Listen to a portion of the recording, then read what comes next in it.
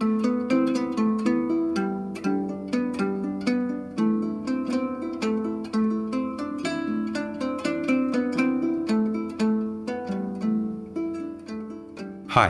I'm Peter Adamson, and you're listening to the History of Philosophy podcast, brought to you with the support of King's College London and the Leverhulme Trust. Online at www.historyofphilosophy.net. Today's episode Pythagorean Theorems, Iamblichus. Before he became the last pagan ruler of the Roman Empire, Julian the Apostate was a philosophy student so don't ever let anyone tell you that studying philosophy isn't a good career move. One of Julian's teachers particularly impressed him with the following anecdote. It seems that a philosopher named Maximus invited this teacher to attend a ritual at the temple of the goddess Hecate. Incense was burned, a hymn was chanted.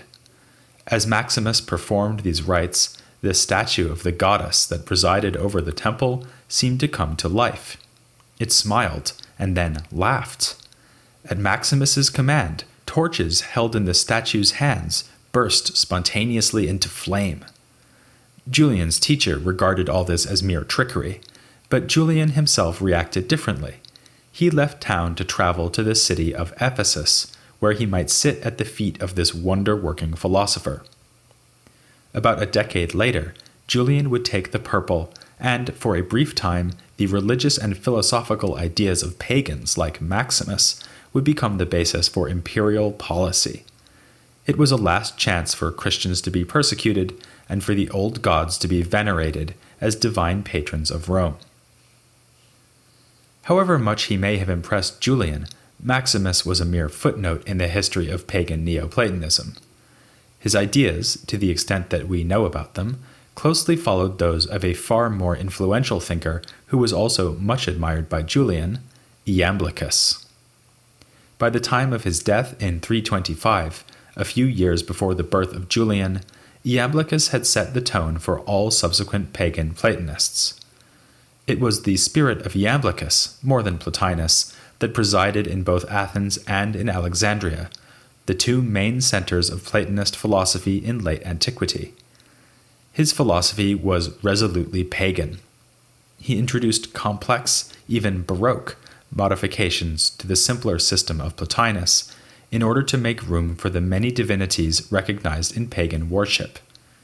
He argued for the efficacy, indeed the absolute necessity, of the practice of theurgy, ritual activities that allow the gods and goddesses to reveal themselves in our world, as Hecate did at the behest of Maximus.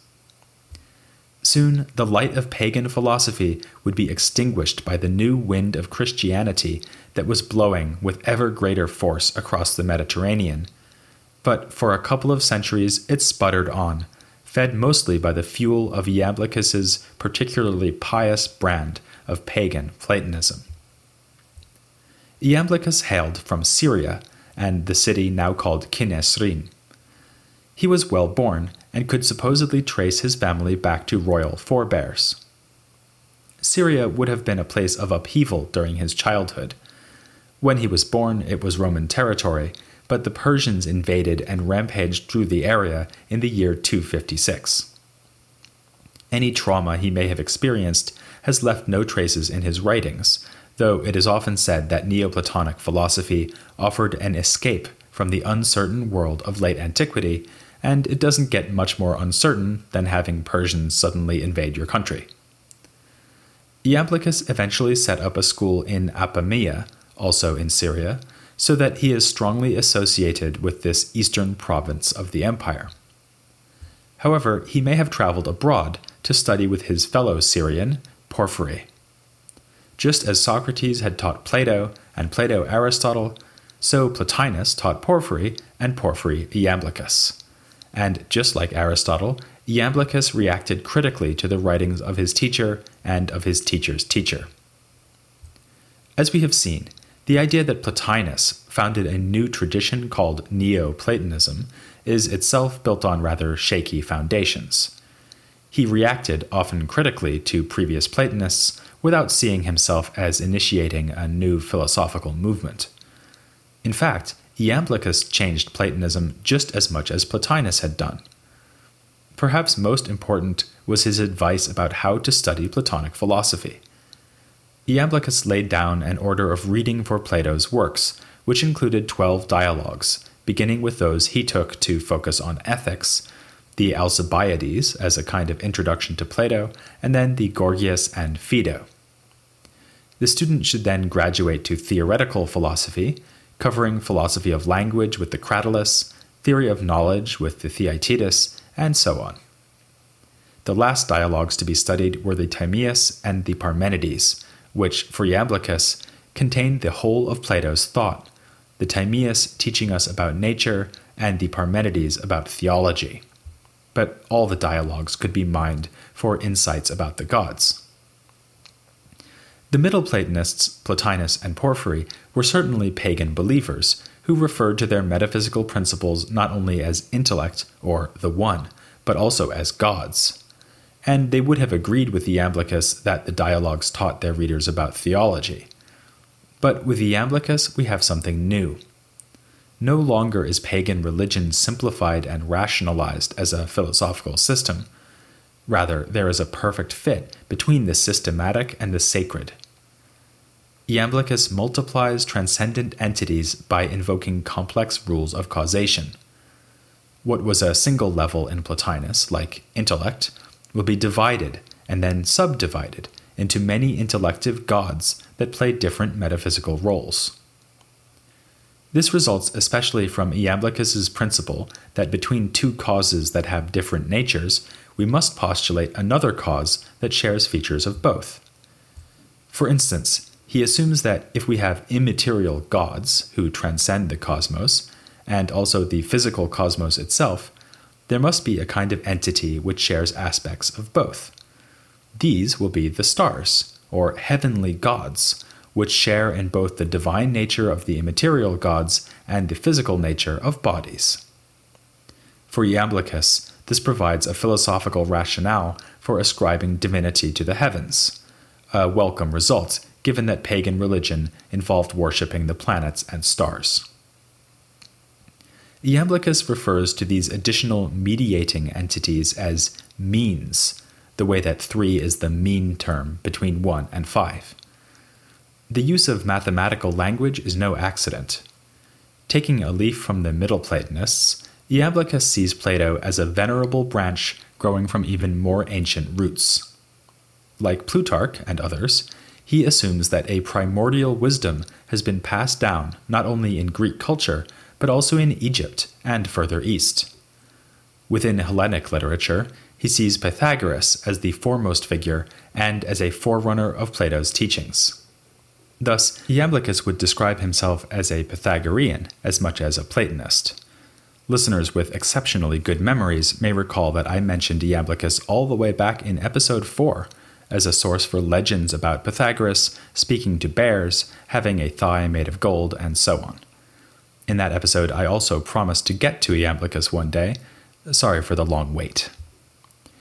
Iamblichus so esteemed Pythagoras that he wrote an enormous series of Pythagorean books, including the surviving Life of Pythagoras, which I was using in that episode, and treatises on the philosophical significance of mathematics. Being a Pythagorean, Iamblichus believed that mathematics, no less than the Platonic dialogues, could be mined for insight about transcendent divinities. But, in keeping with his idea of an ancient wisdom received by many cultures, he looked beyond Plato and Pythagoras. As we saw when looking at Plutarch, Hellenic pagans were happy to absorb Egyptian gods into their pantheon, and even to identify certain Egyptian gods with certain Greco Roman divinities. So, naturally, Iamblichus identified Egypt as a source of great insight. This particular tributary of the stream of antique knowledge flowed above all through the body of works ascribed to thrice great Hermes, a divinity who was both the Greek god Hermes and the Egyptian god Thoth. They record Hermes' own education from a character named Poimandres, and the lessons he gives to his own disciples, including the god Asclepius. The text reads more like a sacred or mystical work than a philosophical treatise, but it resonates strongly with Platonist philosophical doctrine. For instance, the opening passage of the first book tells of an intellective first god who gives rise to a logos, a word or reason. We've already seen this idea in Platonists like Philo of Alexandria. That's no coincidence since the text emerged contemporaneously with Middle Platonism. What Iamblichus saw as an inspired and ancient source of Platonic truths was in fact itself derived from the Platonist tradition. The same goes for an equally important source used by Iamblichus, the Chaldean oracles, named for their supposed origin in the eastern land of Chaldea. Produced in the 2nd or 3rd century AD, the oracles present a visionary description of the universe and its causes. In this system, the transcendent causes of Platonist metaphysics are personified as divine characters. A first mind and a secondary intellect are referred to as father gods, with the soul being associated with Hecate, the same goddess who obligingly smiled and laughed for the philosopher Maximus. Of course, Iamblichus could have found this kind of metaphysical system, with or without the mythical trappings, in any number of Platonist texts. The reason he constantly alludes to the oracles and the works of Hermes is that their supposed pedigree proved the venerable and sacred roots of Pythagorean and Platonic teaching. Later Neoplatonists will invoke the antiquity of pagan belief and its supposed appearance in Egyptian and Eastern cultures as a proof of its superiority over the far younger faith of the Christians. Furthermore, these texts provided the pagans with scriptures that could compete with the Bible. But Iamblichus, unlike his master Porphyry, was not unduly concerned by the Christians. He worried more about newfangled innovations among his fellow pagans. They should turn to texts like the oracles to learn the authentic ritual practices. Even when Iamblichus gave his attention to more mundane philosophical topics, he kept his eyes turned towards the gods. As a student of Porphyry, he knew better than to neglect his Aristotle, and, like Porphyry, he was particularly interested in the logical works. He wrote a commentary on Aristotle's categories, now lost but known indirectly through later commentators. His ideas here make an interesting contrast to both Porphyry and Plotinus. For Porphyry, the categories was relevant only to physical things, and analyzed certain terms in our language insofar as they applied to such things, a useful, albeit limited, ambition. Plotinus, by contrast, had extensively attacked the categories, trying to expose them as an inadequate attempt to classify reality. Plotinus preferred the set of concepts called the greatest kinds in Plato's dialogue The Sophist, which we discussed a while back in an interview with Fiona Leigh. These five kinds being, rest, motion, sameness, and difference are the true anatomy of reality, used by Plotinus to describe the intelligible world of intellect. In a characteristically bold move, Iamblichus instead gave a so called intellectual interpretation of Aristotle's categories rejecting Porphyry's peacemaking suggestion that the categories were limited to the humble things of the physical cosmos. Iamblichus insisted that all ten categories could be applied also to the intelligible divine world. I'll mention just one example of how this worked. In discussing the category of substance, Aristotle said that substances alone can change in their properties. For instance, a giraffe can go from being hungry to being not hungry whereas non substantial properties like the giraffe's hunger are incapable of this. Iamblichus has no quarrel with Aristotle's claim, but as always, he wants us to raise our minds to a higher level. Intelligible substance, he says, is like this too. The difference is that it can have two contrary properties at the same time. Ironically, he gives the very example Plotinus had used intellect partakes of the greatest kinds of the sophist, so that it is both moving and at rest, both the same as and different from itself. And likewise for all the categories, each of which applies to physical things in one way and to the intelligible in another, more exalted way. Iamblichus's critical attitude towards Plotinus is even more obvious when he turns to one of Plotinus's most distinctive doctrines, the undescended soul. As you'll remember, Plotinus believed that every soul remains connected to the intelligible realm at all times. Even now, as you listen to this podcast, some part of you is communing with the forms. It's a cheerful proposal, but Iamblichus is having none of it, and subsequent Platonists unanimously side with him against Plotinus. He raises obvious objections, for instance, that if we are already connected to intellect all the time, and if intellectual contemplation is the ultimate fulfillment and happiness for mankind, then we are all always fulfilled and happy, whether we know it or not. This is not only rather weird, but means that there is no reason for us to try to improve ourselves through philosophy. After all, we're already perfectly happy. Iamblichus makes other objections that are more distinctively, well, Iamblician.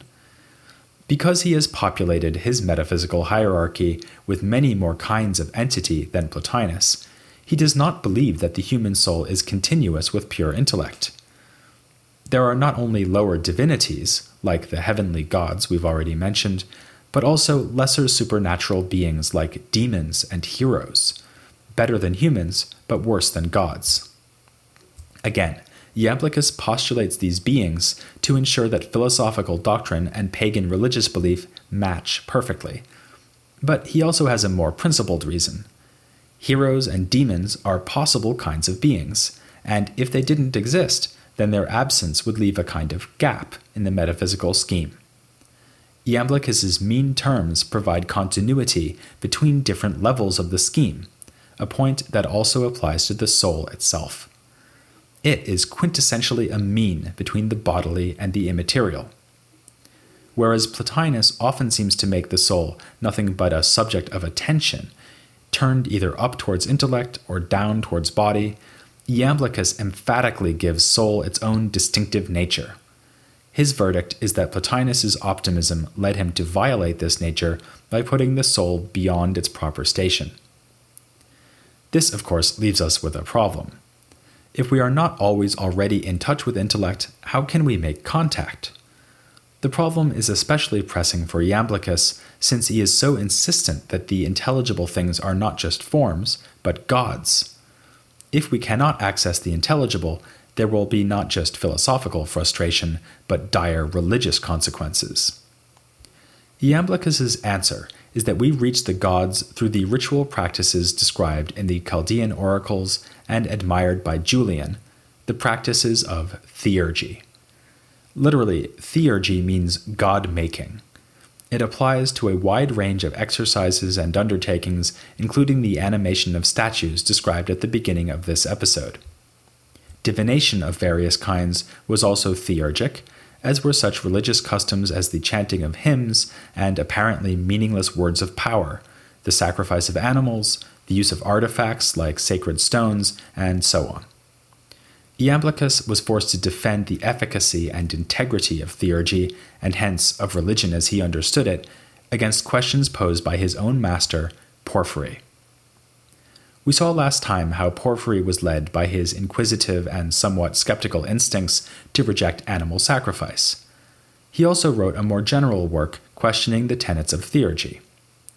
Adopting a tone rather like that of Plato, criticizing the Homeric myths, Porphyry complained that many theurgic practices seem inappropriate to the gods.